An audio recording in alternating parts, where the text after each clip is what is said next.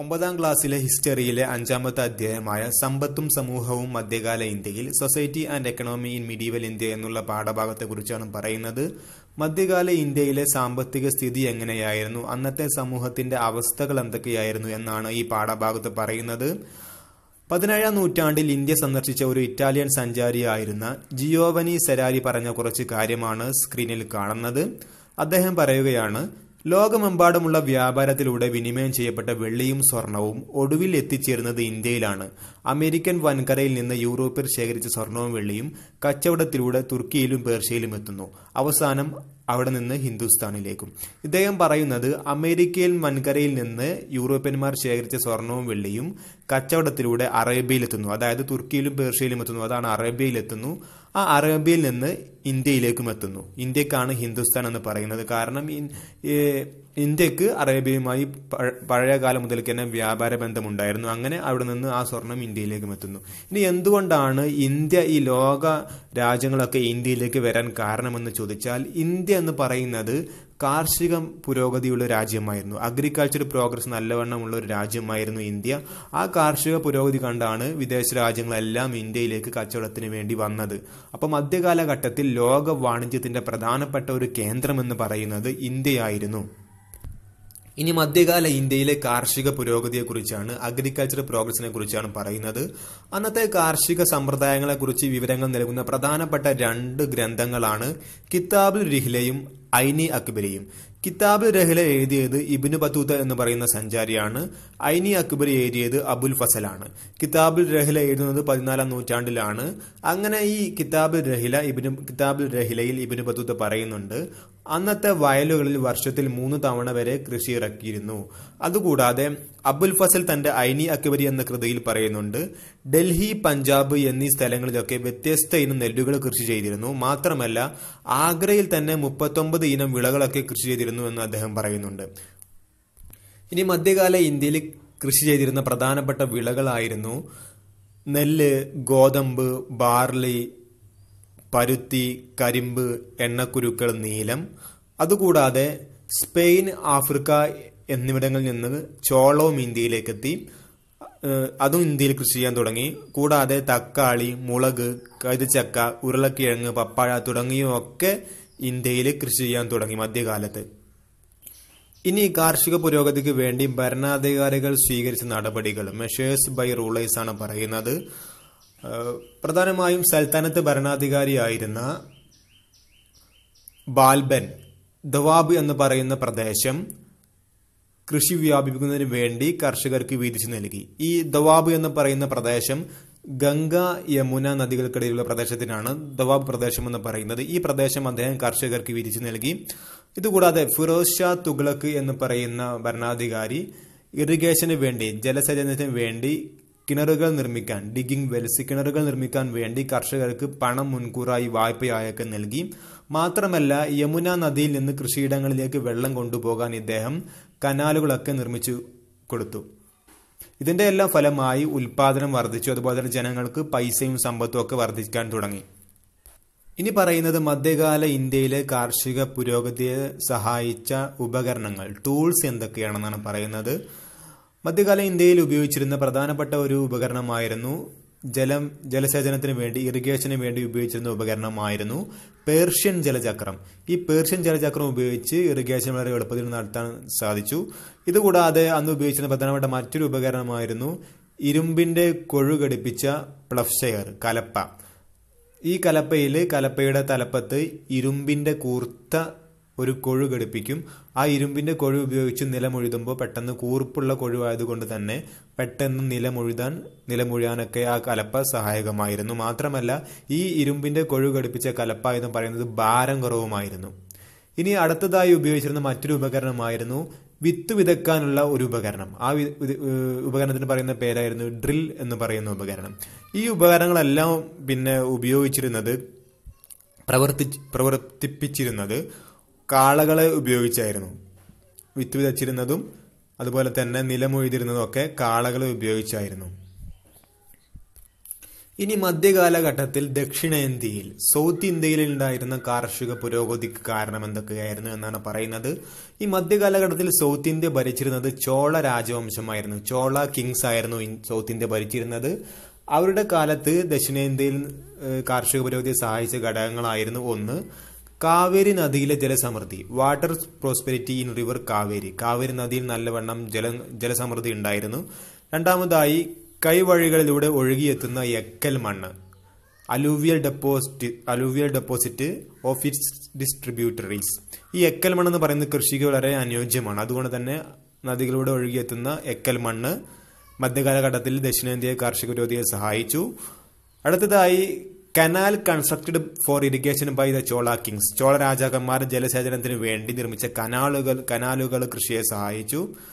അടുത്തതായി ഗ്രാമഭരണം നടത്തിയ സഭകൾക്ക് കീഴിൽ. ചോള ചോള ഭരണത്തിന് കീഴിൽ ഗ്രാമങ്ങൾ ഭരിച്ചിരുന്ന സഭ എന്ന് പറയുന്ന ഒരു കൂട്ടമായിരുന്നു. ആ സഭകൾക്ക് കീഴിൽ കാർഷിക പുരോഗതി ലക്ഷ്യമിട്ട് പ്രവർത്തിച്ചിരുന്ന ഒരു വിഭാഗമുണ്ടായിരുന്നു. അതിനാണ് സമിതികൾ എന്ന് പറയുന്നത്.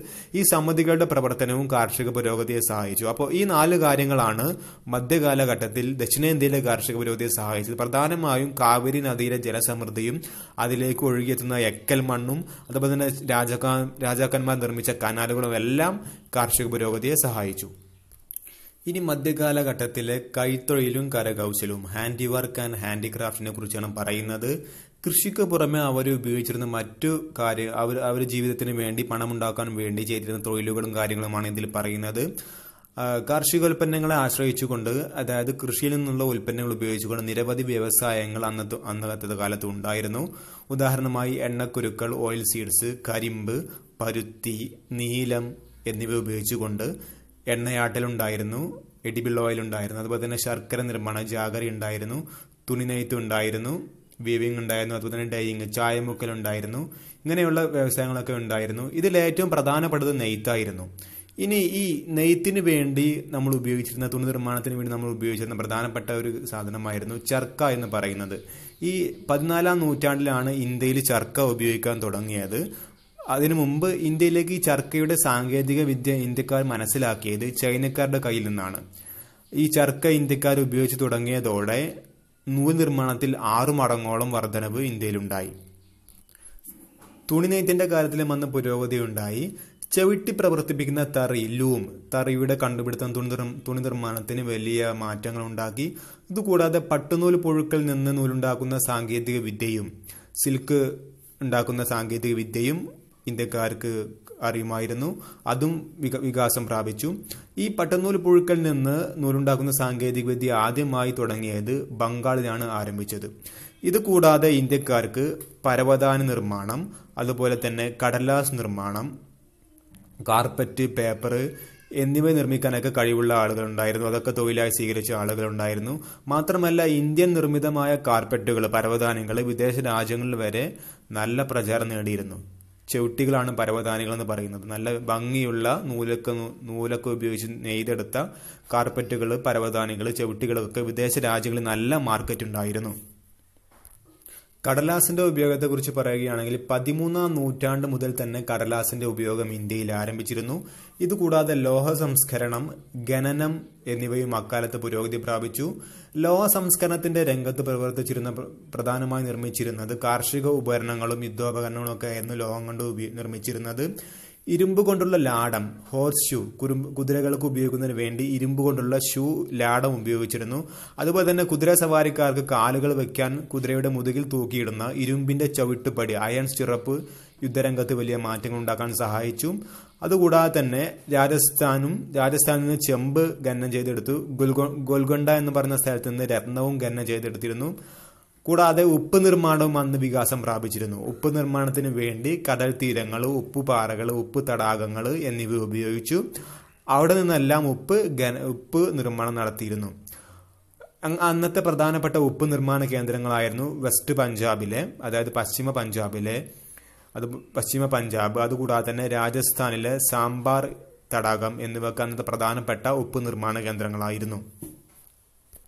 ഇനി ഇന്ത്യയുമായി വാണിജ്യ അല്ലെങ്കിൽ വ്യാപാരത്തിലേക്ക് ഏർപ്പെട്ട പ്രധാനപ്പെട്ട രാജ്യങ്ങൾ ഏതൊക്കെയാണെന്നാണ് പറയുന്നത്. നമുക്കറിയാം എന്തുകൊണ്ടാണ് ഇന്ത്യ പിന്നെ വിദേശ രാജ്യങ്ങളുമായി വ്യാപാരം നടത്താൻ കാരണം എന്ന് ചോദിച്ചാൽ ഇന്ത്യയിൽ കാർഷിക പുരോഗതി ഉണ്ടാവുകയും ഒരുപാട് ഉൽപാദനം ഉണ്ടാവുകയും ആ ഉൽപാദനം ഇന്ത്യക്കാർ ഉപയോഗിച്ച് ഉപയോഗിച്ച ശേഷവും ഒരുപാട് ബാക്കിയായി.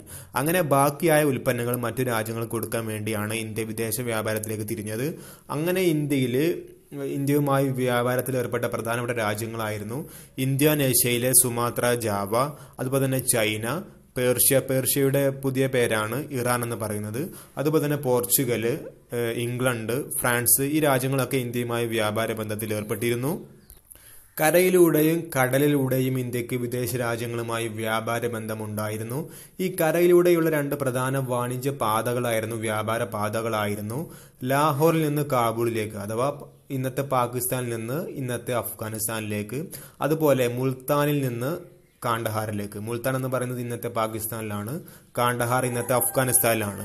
ഇവിടേക്കുള്ള പ്രധാനപ്പെട്ട ഈ ഗതാഗത പാതകൾ ഗതാഗത പാതകൾ വാണിജ്യത്തിന്റെ പ്രധാനപ്പെട്ട അന്നത്തെ വ്യാപാരത്തിന് വേണ്ടി ജനങ്ങൾ ഇന്ത്യക്കാർ ഉപയോഗിച്ചിരുന്ന പ്രധാനപ്പെട്ട പാതകളായിരുന്നു ഇതുകൂടാതെ കടൽ വഴിയും ഇന്ത്യയ്ക്ക് വാണിജ്യമുണ്ടായിരുന്നു. ഇതിന് തീരദേശ വാണിജ്യം കോസ്റ്റ് ലൈൻ ട്രേഡ് എന്നറിയപ്പെട്ടിരുന്നു. അന്നത്തെ പ്രധാനപ്പെട്ട തുറമുഖങ്ങളായിരുന്നു കാംബെ ബ്രോച്ച് സൂറത്ത് ഗോവ നാഗപട്ടണം മസൂലിപ്പട്ടണം കോഴിക്കോട് കൊല്ലം. ഇനി മധ്യകാല ഇന്ത്യയിലെ പ്രധാനപ്പെട്ട കച്ചവട വിഭാഗങ്ങളെയും അവർ ഏർപ്പെട്ടിരുന്ന മേഖലയുമാണ് പറയുന്നത്. പ്രധാനപ്പെട്ട രണ്ട് ട്രേഡ് ഗ്രൂപ്പ്സ് ആയിരുന്നു. ഒന്ന് മാർവാടികൾ ഗുജറാത്തികൾ. രണ്ട് മുൾത്താനികൾ ഖുറാസാനികൾ.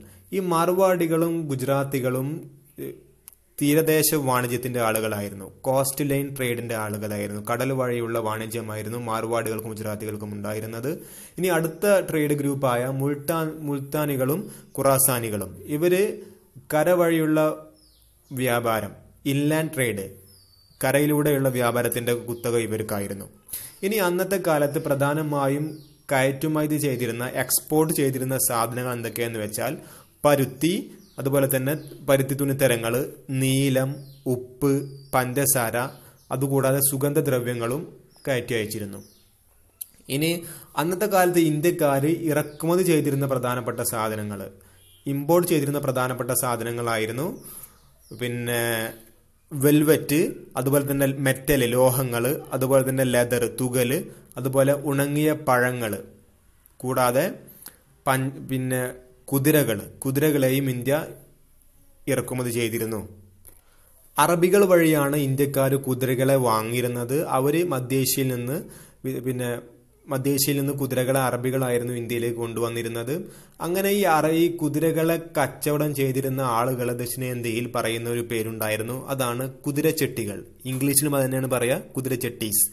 അപ്പോൾ മധ്യകാല ഇന്ത്യയിൽ കുതിരകളെ കച്ചവടം നടത്തിയിരുന്ന ആളുകൾ പറയുന്ന പേരാണ് കുതിരച്ചെട്ടികൾ എന്ന് പറയുന്നത്. അറബികളായിരുന്നു ഇന്ത്യയിലേക്ക് കുതിരകളെ കൈമാറിയിരുന്നത്. അവർ അവരുടെ നാട്ടിൽ നിന്ന് കുതിരകളെ ഇന്ത്യയിലേക്ക് കൈമാറിയിരുന്നു. ഇനി ഇന്ത്യയിലെ കച്ചവട പുരോ പുരോഗതിക്കായി ഭരണാധികാരികൾ വിവിധ നടപടികൾ കൈക്കൊണ്ടിരുന്നു. അത്തരം നടപടികളെയാണ് പറയുന്നത്. ആദ്യമായി പ്രധാന നഗരങ്ങളെ ബന്ധിപ്പിച്ചുകൊണ്ട് റോഡുകൾ നിർമ്മിച്ചു. Constructed roads connecting major cities അതുകൂടാതെ ഗ്രാൻഡ് ലോൺസ് ടു ട്രേഡേഴ്സ് കച്ചവടക്കാർക്ക് വായ്പകൾ അനുവദിച്ചു കൊടുത്തു. അതുകൂടാതെ കൺസ്ട്രക്റ്റഡ് സെരായിസ് റെസ്റ്റ് ഹൗസസ് കച്ചവടക്കാർക്ക് വിശ്രമിക്കുന്നതിനുള്ള സെരായികൾ വിശ്രമ കേന്ദ്രങ്ങൾ സ്ഥാപിച്ചു കൊടുത്തു. അതുകൂടാതെ ഏകീകൃത നികുതി സമ്പ്രദായം യൂണിഫോം ടാക്സേഷൻ ഇംപ്ലിമെന്റ് ചെയ്തു. എല്ലാവർക്കും ഒരേ നികുതി നികുതി എന്നുള്ള സമ്പ്രദായം നടപ്പാക്കി കൊടുത്തു. മാത്രമല്ല പിന്നെ തപാൽ സംവിധാനം നല്ല രീതിയിൽ നടപ്പാക്കി. കത്തിടപാടുകളൊക്കെ നല്ല രീതിയിൽ കച്ചവടവുമായി ബന്ധപ്പെട്ട കത്തിടപാടുകൾക്ക് പെട്ടെന്ന് നടത്താൻ വേണ്ടി തപാൽ സംവിധാനം കാര്യക്ഷമമാക്കി. അതുകൂടാതെ കാര്യക്ഷമമായ ഒരു നാണയ സംവിധാനവും. കോയിനേജ് സിസ്റ്റം നാണയ സംവിധാനം ശക്തമായ ഒരു കാര്യക്ഷമമായതും ആയ ഒരു കോയിനേജ് സിസ്റ്റം നാണയ സമ്പ്രദായം നടപ്പിലാക്കി. അത് നാണയ സമ്പ്രദായത്തെക്കുറിച്ച് പറയുകയാണെങ്കിൽ സുൽത്താനത്ത് കാലത്ത് തന്നെ സൽത്തനത്ത് കാലത്ത് തന്നെ കാര്യക്ഷമമായ ഒരു കോയിനേജ് സിസ്റ്റം നാണയ വ്യവസ്ഥ നിലനിന്നിരുന്നു. അന്നത്തെ കാലത്ത് തങ്ക എന്ന വെള്ളി നാണയവും ജിതൽ എന്ന ചെമ്പു നാണയവും ഉപയോഗിച്ചിരുന്നു. ഇനി നാണയവ്യവസ്ഥയുടെ കാര്യത്തിൽ കൂടുതൽ പരിഷ്കാരം കൊണ്ടുവരുന്ന ഒരു രാജാവായിരുന്നു ഷേർഷാ എന്ന് പറയുന്ന രാജാവ്. ഈ അദ്ദേഹം പ്രചാരത്തിലാക്കിയ നാണയമാണ് റുപ്പി എന്ന് പറയുന്ന വെള്ളി നാണയം. അതുകൂടാതെ അതുകൂടാതെ അക്ബർ എന്ന് പറയുന്ന രാജാവ് അക്ബർ ചക്രവർത്തി കൊണ്ടുവന്ന നാണയങ്ങളാണ് ജലാലി എന്ന് പറയുന്ന വെള്ളി നാണയവും ഇലാഹി എന്ന് പറയുന്ന സ്വർണ നാണയവും. അപ്പോൾ ഇത്തരം കാര്യങ്ങളൊക്കെ അന്നത്തെ കച്ചവട പുരോഗതിക്ക് സഹായകമായി. ഇന്ത്യയിൽ ഒരുപാട് വിദേശികൾ കച്ചവടത്തിനെത്തിരുന്നെന്നും പറഞ്ഞു കഴിഞ്ഞു. ഇന്ത്യയിൽ പഴയ കാലത്ത് കച്ചവടത്തിന്റെ കുത്തക അറബികൾക്കായിരുന്നു. എന്നാൽ അറബികൾ അറബികളുടെ ഈ കുത്തക പോർച്ചുഗീസുകാർ വന്നതോടുകൂടി അവർ അറബികളെ പിന്തള്ളുകയുണ്ടായി.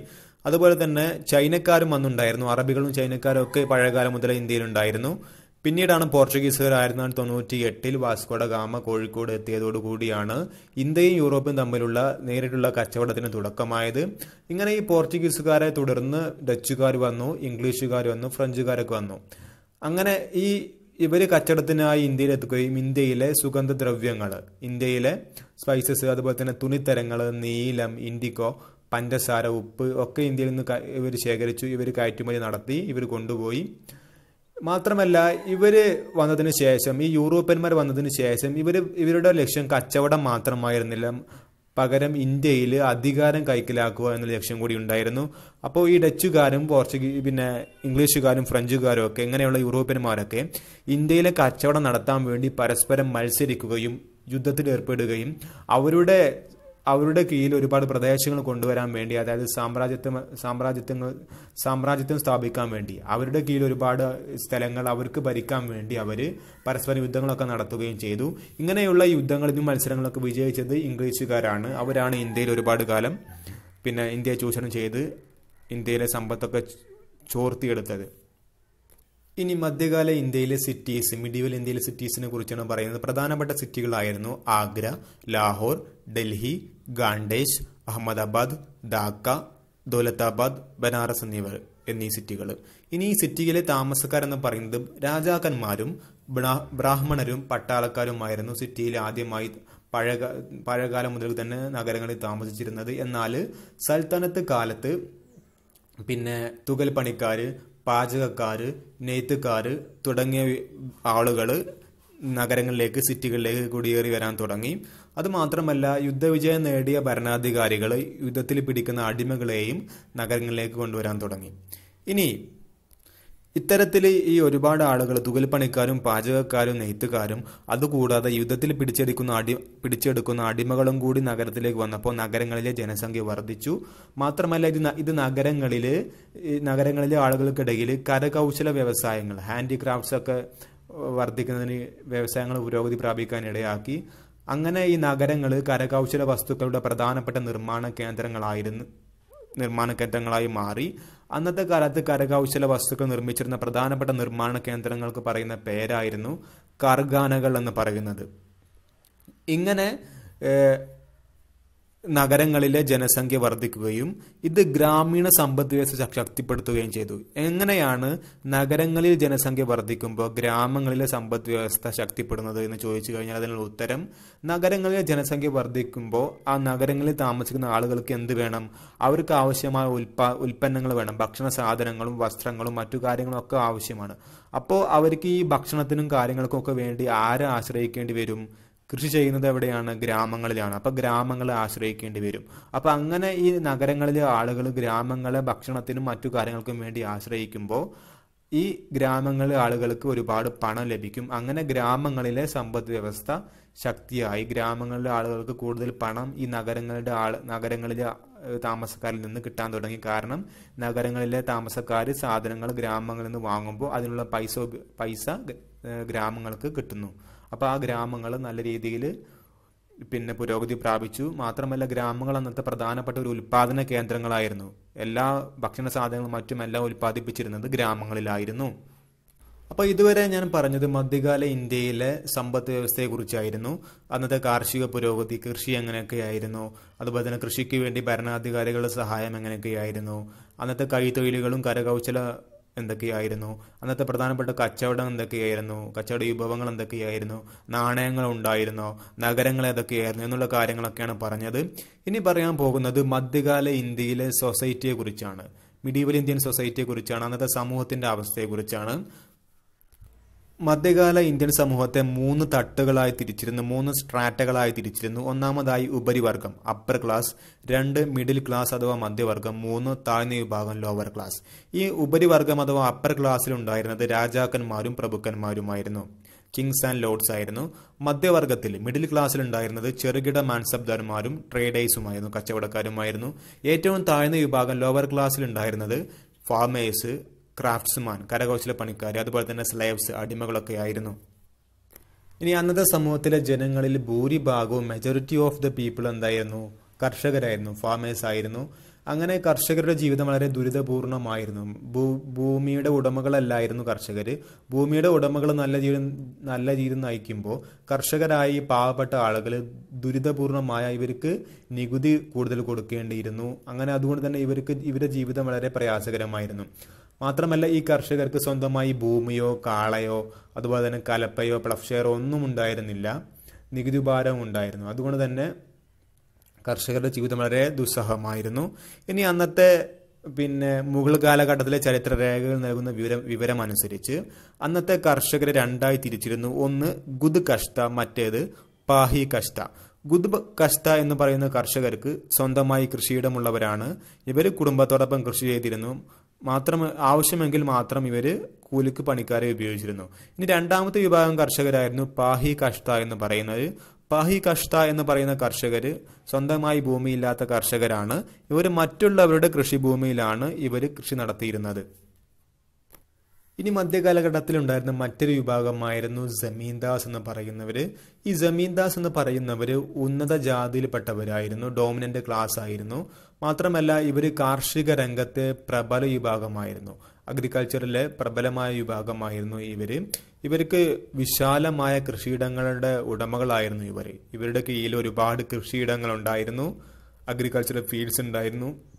മാത്രമല്ല ഇവർ ഈ കൃഷിയിടങ്ങളിൽ എന്ത് ചെയ്യില്ല നേരിട്ട് കൃഷി നടത്തില്ല. ഇവർ മറ്റുള്ള കർഷകരെ ഉപയോഗിച്ചുകൊണ്ട് അവർക്ക് അവരെ ചൂഷണം ചെയ്തുകൊണ്ട് കൃഷി നടത്തുകയാണ് ചെയ്തിരുന്നത്.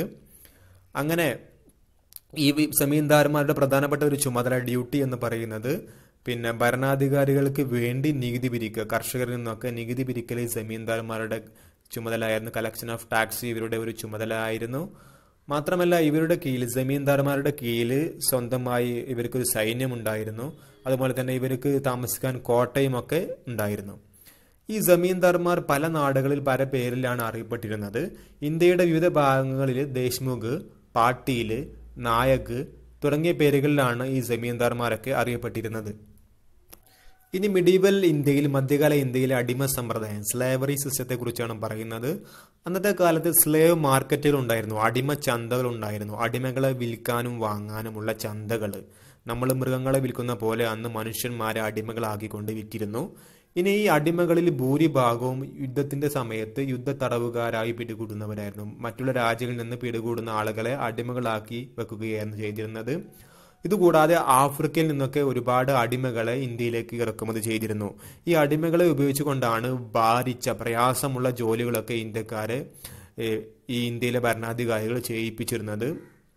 അടിമകളെ ഉപയോഗിച്ചായിരുന്നു. മാത്രമല്ല ഈ കൊട്ടാരത്തിൽ അടിമകൾ കൊട്ടാരത്തിലും ഉണ്ടാവും അടിമകൾ എല്ലാ ഭാഗത്തും ഉണ്ടാവും രാജ്യത്തിന്റെ എല്ലാ തൊഴിൽ മേഖലയിലും അടിമകളെ കാണാം. കൊട്ടാരത്തിൽ താമസിക്കുന്ന അടിമകൾക്ക് നൃത്തം അറിയാമായിരുന്നു. അതുപോലെ തന്നെ മ്യൂസിക് അറിയാമായിരുന്നു. ഡാൻസ് ഒക്കെ അറിയാമായിരുന്നു. മാത്രമല്ല അന്നത്തെ കാലത്ത് അടിമകളെ സമ്മാനമായി രാജാക്കന്മാർ കൊടുക്കുന്നത് ഒരു നല്ല കാര്യമായിരുന്നു. അതുകൊണ്ട് തന്നെ പതിനാലാം നൂറ്റാണ്ടിൽ ഇന്ത്യ സന്ദർശിച്ചിരുന്ന സഞ്ചാരിയായിരുന്ന ഇബിനു ബത്തൂത്ത അന്നത്തെ ഡൽഹി ഭരണാധികാരിയായിരുന്ന മുഹമ്മദ് ബിൻ തുഗലക്കിന് സമ്മാനിക്കാൻ വേണ്ടി കുതിരകളെയും ഒട്ടകങ്ങളെയും അതിന്റെ കൂടത്തിൽ സ്ലേവ്സ് അടിമകളെയും വാങ്ങി നൽകിയതായി പറയുന്നുണ്ട്. ഇനി ഈ അന്നത്തെ കാലത്ത് ഈ മിഡീവൽ ഇന്ത്യയിലെ പ്രധാനപ്പെട്ട ഒരു പ്രശ്നമെന്ന് പറയുന്നത് ഈ അടിമ സമ്പ്രദായം ഈ മനുഷ്യരാണ് ഈ അടിമകൾ എന്ന് പറയുന്നത് മനുഷ്യർ തന്നെയാണ് ഈ മനുഷ്യരെ അവരെന്ത് ചെയ്യും? നല്ല രീതിയിൽ ചൂഷണം ചെയ്യും. ഉപദ്രവിക്കും മാത്രമല്ല അവർക്ക് തക്കതായ കൂലിയോ അങ്ങനെയുള്ള സൗകര്യങ്ങളോ ഒന്നും കൊടുക്കാതെ അവരെ കൊണ്ട് നല്ല പ്രയാസമേറിയ കഠിനമേറിയ ജോലികളൊക്കെ ഈ അടിമകൾ കൊണ്ട് അന്നത്തെ ഭരണാധികാരികൾ ചെയ്യിപ്പിച്ചിരുന്നു. ഇനി മധ്യകാല ഇന്ത്യയിലെ സ്റ്റാറ്റസ് ഓഫ് വിമൺ സ്ത്രീകളുടെ അവസ്ഥയാണ് പറയുന്നത്. അന്നത്തെ സൊസൈറ്റിയിൽ ശൈശവ വിവാഹം ചൈൽഡ് മാരേജ് കുട്ടികളെ തന്നെ കല്യാണം കഴിക്കുന്ന രീതി ഉണ്ടായിരുന്നു. അതുപോലെ തന്നെ സതി പ്രാക്ടീസ് ഓഫ് സതി ഉണ്ടായിരുന്നു. ഈ അന്നത്തെ കാലത്ത് പതിനാറാം നൂറ്റാണ്ടിൽ ഇന്ത്യ സന്ദർശിച്ചിരുന്ന ഫ്രഞ്ച് സഞ്ചാരിയായിരുന്നു ഫ്രാങ്കോയിസ് ബർണിയർ എന്ന് പറയുന്ന വ്യക്തി. അദ്ദേഹം സതി അനുഷ്ഠിക്കുന്നത് നേരിൽ കണ്ടതായി അദ്ദേഹത്തിന്റെ അനുഭവക്കുറിപ്പിലൊക്കെ പറയുന്നുണ്ട്. ഇനി പുനർവിവാഹത്തിന് ഒരു സ്ത്രീയുടെ ഭർത്താവ് മരിച്ചു കഴിഞ്ഞാൽ പിന്നീട് വിവാഹം കഴിക്കുന്നതിന് വേണ്ടി നിയന്ത്രണങ്ങൾ ഉണ്ടായിരുന്നു അതിന് സമ്മതിച്ചിരുന്നിരുന്നില്ല. റെസ്ട്രിക്ഷൻ ഓഫ് ഫോർ റീമാരേജ് പുനർ റീമാരേജിന് നിയന്ത്രണങ്ങൾ ഉണ്ടായിരുന്നു പിന്നെ പെൺകുട്ടികൾക്ക് എഡ്യൂക്കേഷനുള്ള അവസരങ്ങൾ ലഭിച്ചിരുന്നില്ല. കാരണം ചെറിയ പ്രായത്തിൽ തന്നെ പെൺകുട്ടികൾ കല്യാണം കഴിക്കുന്നത് കൊണ്ട് തന്നെ അവർക്ക് സ്കൂളിൽ പോകാനോ കൂടുതൽ വിദ്യാഭ്യാസം നേടാനുള്ള അവസരങ്ങൾ ലഭിച്ചിരുന്നില്ല. ഇനി സ്ത്രീകൾ കൃഷിപ്പണിയും ചെയ്തിരുന്നു. അതുകൂടാതെ തന്നെ നോൺ അഗ്രികൾച്ചറൽ സെക്ടറിലും അവർ ജോലി ചെയ്തിരുന്നു. അഗ്രികൾച്ചർ സെക്ടറിലും നോൺ അഗ്രികൾച്ചർ സെക്ടറിലും സ്ത്രീകൾ ജോലി ചെയ്തിരുന്നു. പ്രധാനമായും സ്ത്രീകൾ ചെയ്തിരുന്ന ജോലി പിന്നെ വിത്ത് വിതക്കുന്നത് മുതൽ കൊയ്യുന്നത് വരെയുള്ള ഓരോ ഘട്ടത്തിലും വിത്ത് വിതക്കലും അതുപോലെ തന്നെ കൊയ്യു വിത്ത് വിതക്കുന്നത് മുതൽ കൊയ്യുന്നത് വരെ വിത്തിന്റെ വിളവെടുക്കുന്നത് വരെയുള്ള എല്ലാ ജോലികളിലും സ്ത്രീകൾ പങ്കാളികളായിരുന്നു. ഇതുകൂടാതെ നൂൽ നൂൽപ്പ് വീവിങ് പോട്ടറി മേക്കിംഗ് അങ്ങനെയുള്ള പിന്നെ വസ്ത്രാലങ്കാരം എംബ്രോയിഡറി വർക്കുകളൊക്കെ സ്ത്രീകൾ ചെയ്തിരുന്നു. ഇനി ചില ഈ സ്ത്രീകൾക്ക് ഈ മോശം പണികൾ മാത്രമല്ല മോശം പണികളല്ല സ്ത്രീകൾ താഴ്ന്ന പദവി മാത്രമല്ല ചില സ്ത്രീകൾക്ക് ഉന്നതമായ പദവികളും ഉണ്ടായിരുന്നു. ഉന്നതമായ രാഷ്ട്രീയ പിന്നെ പൊളിറ്റിക്കൽ ആൻഡ് സോഷ്യൽ പൊസിഷൻസ് ഉള്ള സ്ത്രീകൾ ഉണ്ടായിരുന്നു അങ്ങനെയുള്ള സ്ത്രീകളായിരുന്നു. പിന്നെ സുൽത്താന റസിയ എന്ന് പറയുന്ന ഭരണാധികാരി ഉണ്ടായിരുന്നു. അതുപോലെ തന്നെ മുഗൾ ചക്രവർത്തിയായിരുന്ന ജഹാംഗീറിന്റെ പത്നി നൂർജഹാൻ ഉണ്ടായിരുന്നു. ഇവരൊക്കെ ഭരണരംഗത്ത് പൊളിറ്റിക്കൽ ഭരണരംഗത്ത് കഴിവ് തെളിയിച്ച സ്ത്രീകളാണ്. ഇതുകൂടാതെ ഹുമയൂണിന്റെ സഹോദരി ഗുൽബദൻ ബീഗം ഷാജഹാന്റെ മകളായ ജഹനാര ശിവജിയുടെ മാതാവായ ജീജാബായ് തുടങ്ങിയവരൊക്കെ വ്യത്യസ്തമായ ഉന്നത പദവികൾ വഹിച്ച സ്ത്രീകളായിരുന്നു. അപ്പോൾ സ്ത്രീകളുടെ ഉയർന്ന വിഭാഗം ആളുകൾക്ക് നല്ല പദവികൾ ഉണ്ടായിരുന്നു എന്നാൽ താഴ്ന്ന ചില സ്ത്രീകൾക്ക് പിന്നെ ഒരുപാട് പ്രശ്നങ്ങളും അനുഭവിച്ചിരുന്നു അന്നത്തെ കാലത്ത് എന്നാണ് പറയുന്നത്. ഇനി മധ്യകാല ഇന്ത്യയിലെ ജാതി വ്യവസ്ഥ കാസ്റ്റ് സിസ്റ്റത്തെ കുറിച്ചാണ് പറയുന്നത്. അന്നും ജാതി വ്യവസ്ഥ ശക്തമായി നിലനിന്നിരുന്നു. ജാതി വ്യവസ്ഥയിൽ ഏറ്റവും ഉയർന്ന സ്ഥാനം ബ്രാഹ്മണർക്കായിരുന്നു. ബ്രാഹ്മണർ എൻജോയ്ഡ് എ ഹയർ സ്റ്റാറ്റസ് അവർ ഉന്നതമായ സ്ഥാനം വഹിച്ചു. മാത്രമല്ല അന്ന് ജാതികളുടെ എണ്ണത്തിൽ നല്ല വർധനവുണ്ടായിരുന്നു. ഒരുപാട് ജാതികൾ ഉണ്ടായിരുന്നു increase in the number of caste was a major future of this period മാത്രമല്ല ഒക്യുപ്പേഷനിൽ ജാതി കാസ്റ്റ് ഉണ്ടായിരുന്നു. അതായത് ജാ ജോലിയുടെ അടിസ്ഥാനത്തിൽ ഓരോ ജാതി ഒരേ ജോലി ചെയ്യുന്ന ആളുകളൊക്കെ ഒരു ജാതി എന്നിങ്ങനെ തൊഴിലിന്റെ അടിസ്ഥാനത്തിൽ ജാതികൾ ഉണ്ടായിരുന്നു ബാബർ നാമ ബാബറിന്റെ കൃതിയായ ബാബർനാമയിൽ അദ്ദേഹം പറയുന്നുണ്ട് ഇന്ത്യയിൽ ഒരുപാട് തൊഴിൽ ചെയ്യുന്ന ആളുകളുണ്ടായിരുന്നു. ഓരോ തൊഴിലിലും ഏർപ്പെട്ടിരുന്നവർ ഓരോ ജാതിയായി ആണ് കണ്ടിരുന്നത്. അങ്ങനെ ഈ ജാതി ഒരു ജാതിയിൽ ആളുകൾ ചെയ്യുന്ന തൊഴിലുകൾ അവരുടെ മക്കളും അവരുടെ തലമുറയും ആ തൊഴിൽ ചെയ്തു വന്നു. അങ്ങനെ ആ ജാതിയും കൈമാറ്റം ചെയ്യപ്പെട്ടു.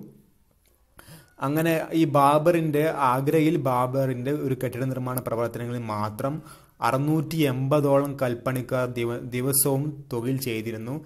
ഇത്തരത്തിൽ പല സ്ഥലങ്ങളിലും ഇന്ത്യയിൽ തൊഴിൽ ചെയ്യുന്ന ആളുകളുടെ ഒരു കൂട്ടമുണ്ടായിരുന്നു. ഇവരൊക്കെ പ്രത്യേക ജാതി ആയിട്ടാണ് അറിയപ്പെട്ടിരുന്നത്. ഉത്തരേന്ത്യയിലെ അതായത് ഇന്ത്യയിലെ ഡൽഹി മുഗൾ ഭാഗത്തുള്ള കാര്യങ്ങളാണ് പറഞ്ഞത്. ജാതികൾ ഉണ്ടായിരുന്നു എന്നുള്ള കാര്യങ്ങളൊക്കെ. പിന്നെ ദക്ഷിണേന്ത്യയിൽ എന്തായിരുന്നു ജാതി വ്യവസ്ഥ? സൗത്ത് ഇന്ത്യയിലെ കാസ്റ്റ് സിസ്റ്റം എങ്ങനെയായിരുന്നു എന്ന് ചോദിച്ചു കഴിഞ്ഞാൽ സൗത്ത് ഇന്ത്യയിലും ഇതുപോലെ തന്നെ ജാതി വിഭജനം ഉണ്ടായിരുന്നു. തൊഴിലിന്റെ അടിസ്ഥാനത്തിലൊക്കെ ജാതി വിഭജനം ഉണ്ട് കാസ്റ്റ് സിസ്റ്റം ഉണ്ടായിരുന്നു. ഇനി ഇന്ത്യ സൗത്ത് ഇന്ത്യയിലെ ജാതികൾ പ്രധാനമായി രണ്ടായി തിരിച്ചിരുന്നു. ഒന്ന് ഇടങ്കൈ ജാതികൾ മറ്റേത് വലങ്കൈ ജാതികൾ. ഇടങ്കൈ ജാതികൾ എന്ന് പറഞ്ഞാൽ കച്ചവടവും കഴുത്തൊയിലുമൊക്കെ ചെയ്തിരുന്ന ആളുകളാണ്. ട്രേഡും ഹാൻഡിക്രാഫ്റ്റ്സും ചെയ്തിരുന്ന ആളുകളാണ് ഇടങ്കൈ ജാതികൾ എന്നറിയപ്പെടുന്നത് ഇനി വലങ്കൈ ജാതികൾ എന്നറിയപ്പെടുന്നത് പിന്നെ കാർഷിക മേഖലകളിൽ ജോലി ചെയ്തിരുന്ന ആളുകളെയാണ് വലങ്കൈ ജാതികൾ എന്നറിയപ്പെട്ടിരുന്നത് അപ്പോൾ ഇത്രയും കാര്യങ്ങളാണ് ഈ പാഠഭാഗത്തിൽ പറയാനുള്ളത്. നമുക്ക് നമുക്ക് നമ്മൾ മനസ്സിലാക്കേണ്ട പ്രധാനപ്പെട്ട കാര്യം മധ്യകാല ഇന്ത്യ എന്ന് പറയുന്നത് സാമ്പത്തികമായി നല്ല പുരോഗതി ഉണ്ടായിരുന്ന ഒരു സമയമായിരുന്നു. കാർഷിക മേഖലയിലെല്ലാം നല്ല പുരോഗതിയുള്ള ഒരു സമയമായിരുന്നു. അതുപോലെ തന്നെ കലാരംഗത്തും സാംസ്കാരിക രംഗത്തും ഒക്കെ നല്ല വളർച്ചയുണ്ടായിരുന്നു. മാത്രമല്ല അന്നത്തെ ഈ വളർച്ച എന്ന് പറയുന്നത് സമൂഹത്തിലെ ഒരു ഉയർന്ന വിഭാഗത്തിന് മാത്രമാണ് ലഭ്യമായത്. സാധാരണക്കാർക്ക് ഒരുപാട് പ്രയാസമുണ്ടായിരുന്നു. ഇന്ത്യയിലെ സാധാരണക്കാരനായ സാധാരണക്കാരായ ആളുകളൊക്കെ ദാരിദ്ര്യത്തിലായിരുന്നു എന്നാണ് പറയുന്നത്. മാത്രമല്ല സ്ത്രീകൾക്കും പിന്നെ ജാതി വ്യവസ്ഥ ഉണ്ടായിരുന്നു. സ്ത്രീകളുടെ പദവി മോശമായിരുന്നു. അടിമ സമ്പ്രദായമൊക്കെ ഉണ്ടായിരുന്നു. എങ്കിലും സാമ്പത്തികമായി പുരോഗതി ഉണ്ടായിരുന്നു എന്നാണ് പറയുന്നത്. അപ്പം നിങ്ങൾക്ക് ഈ ക്ലാസ് ഇഷ്ടപ്പെട്ടെങ്കിൽ നിങ്ങളെ കൂട്ടുകാർക്ക് ഷെയർ ചെയ്യുക.